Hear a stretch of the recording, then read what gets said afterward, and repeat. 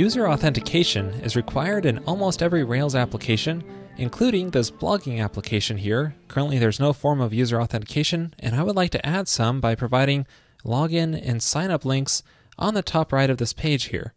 Now, in Rails, there are several gems to help add authentication to your app, such as Devise or OmniAuth. But sometimes, if you just want simple password authentication, you may want to create it from scratch because it's really not that difficult.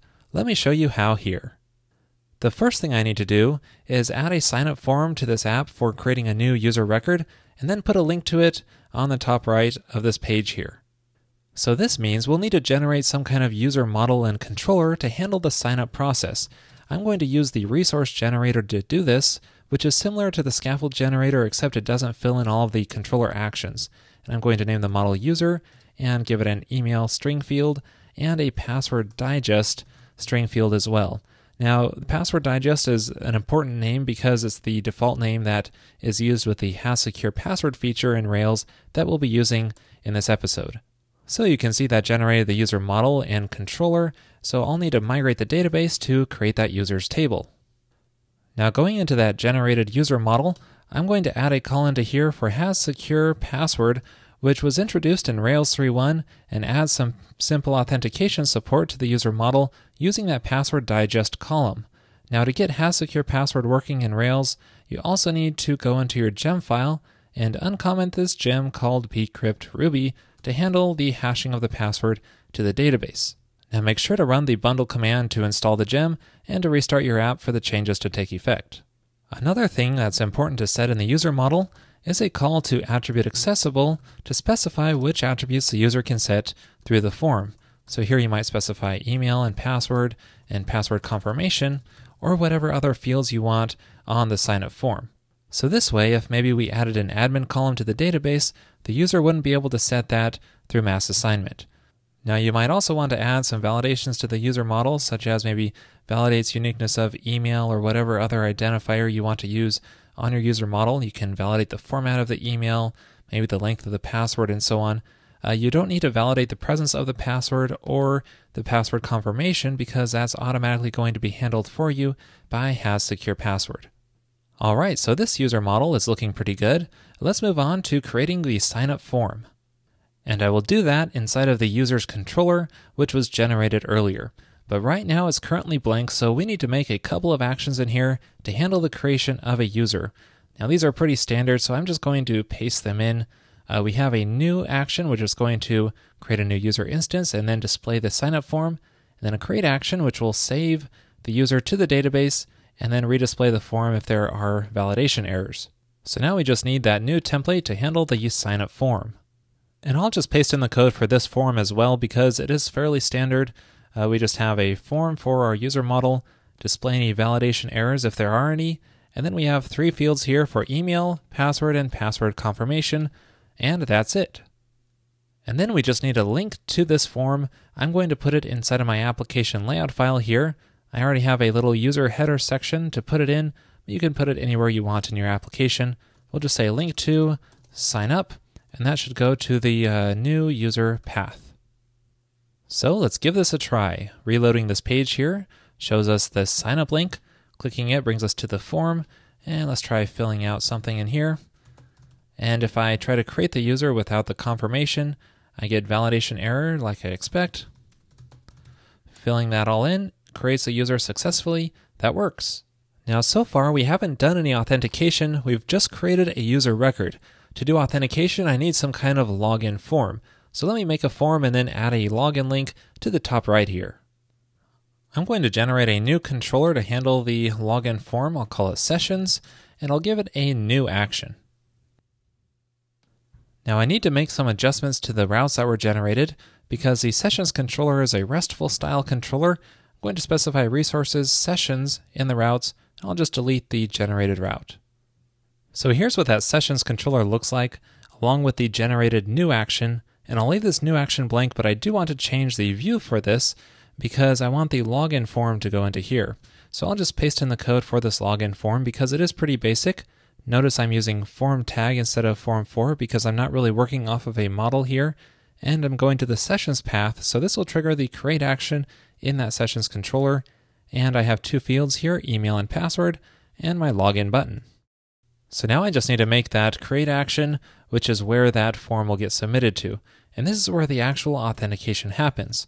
So the first thing I'll need to do is find a user that matches the email that the user typed in.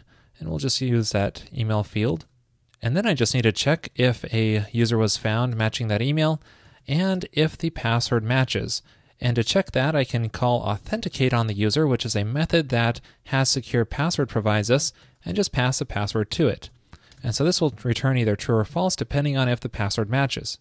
And if it does match, uh, let's store the user ID in a session and then redirect to the root URL with a notice saying logged in. And then otherwise, I'll re-render the login form and display a flash message using Flash Now so it shows up on the immediate page saying uh, email or password is invalid. And there we go. That's really all there is to it to handle the authentication logic. And now to finish this up, we just need to go into the layout file and add a link next to the signup link saying login, and this will go to the new session path, so it'll say sign up or login. Now let's try this out. Reloading this page shows us the login link, and if I click on it, I get my login form, and if I enter in an invalid uh, password and click login, it's going to tell me the email or password is invalid. If I type in the proper password, it'll say logged in. However, notice that it still shows up the sign up and login links, but instead it would be uh, nice to change the status to show that the user is currently logged in. To do this, we need some way to fetch the currently logged in user record, and I'll define this inside of the application controller so that it's available in all controllers. I'll just make a private method here called uh, current user. And then we can find that user model based off of the session's user ID because that is what we set inside of the session's controller when the user logged in. And we only want to do that if that session variable exists. Now this current user method will likely be called many times per request, so it's a good idea to cache this in an instance variable so that it will only be fetched one time per request. So this method is looking good, but it's currently only accessible from inside of the controller. It would be nice to fetch the current user from inside of the view as well. And to do that, you can call helper method in the controller here to turn that current user method into a helper method to access it from the view. Now with that in place, we can update our layout file to show something else here when the user is logged in. To do that, we just have to detect if the current user model exists, and if it does, it means they're logged in. So we can say logged in as, uh, let's say, the current user's email address, but you might want to display something else like their username there instead, if you have that in the database. So that way, it'll show that they're logged in. And we could try this out by reloading the browser, and it now shows the proper logged in status. It would be nice though if there was some way to log out, so we need a logout link here in the menu as well. I'm going to make a new action inside of the sessions controller to handle this logout behavior. I'll just call it uh, destroy. Now this behavior is pretty simple. I just set the user ID session variable to nil to clear it out.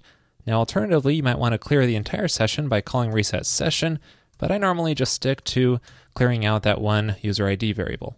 And then I'll just redirect to the uh, root URL with a notice saying logged out.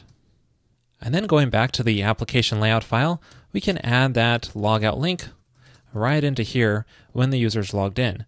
But pointing it to that destroy action can be a little bit tricky because the session path helper method kind of expects a ID to be passed in through here, and I usually just substitute the word current into here, but really you could pass in whatever you want because the controller action doesn't use the ID parameter. And then we can set the method for this link to uh, delete so it triggers that destroy action. Now reloading the page shows us that logout link, clicking on it triggers that destroy action, logging us out. It works. Now, one thing you might want to do is make these sign up and login URLs a little prettier because right now Going to log in, it goes to slash session slash new, which really isn't that pretty. It would be nicer if it just said slash login. To do this, we can add a few custom routes, and I'm going to do that at the top of the routes file here, just pasting some in to handle the signup, login, and logout paths and pointing them to the appropriate controller actions.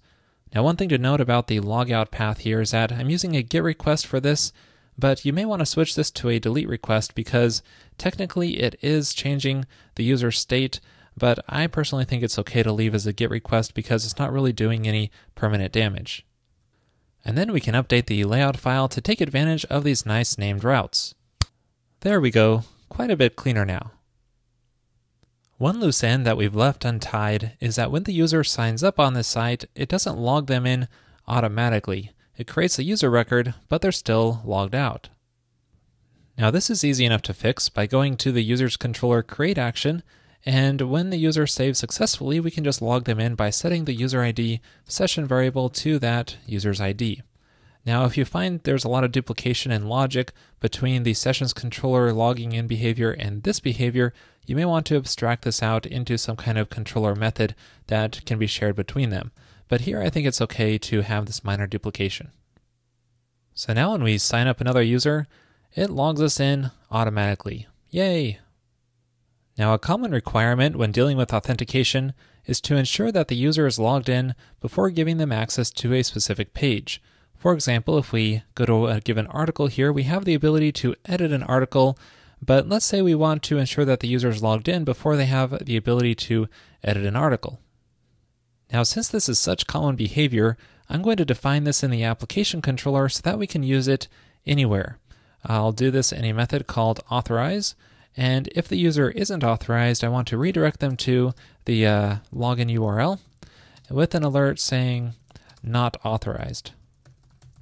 And we only want to do that if the current user is nil, which means that they are not logged in. So with that defined, we can easily use this as a before filter on any controller action we want to protect, such as the articles controller edit and update actions. We can just say before filter authorize only on the edit and update actions. Now because I am logged in, I am able to edit the article, but if I log out and then try to edit an article again, I get the not authorized message. And you may want to improve this user experience depending on how your application works, but there's a basic functionality. If you have more complex authorization logic than this, you may want to use a gem such as CanCan to help out with this. So now we have a complete authentication solution built from scratch, and there are a variety of ways you can add on to this. For example, if you go to the user's controller, maybe you want a profile page or a, a way to update the user information, just add a show action or edit and update actions into the user's controller here to get that kind of behavior. Also, if you want to store the user's login in a permanent cookie instead of a temporary session, check out episode 274 where I show you how to add Remember Me functionality and also a way for the user to reset their password. Well, that's it for this episode on adding authentication from scratch users can now sign up, log in, or log out.